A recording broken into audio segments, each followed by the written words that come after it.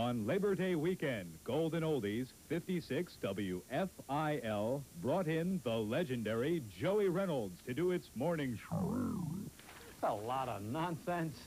Hiya, hiya. I'm Joey Reynolds.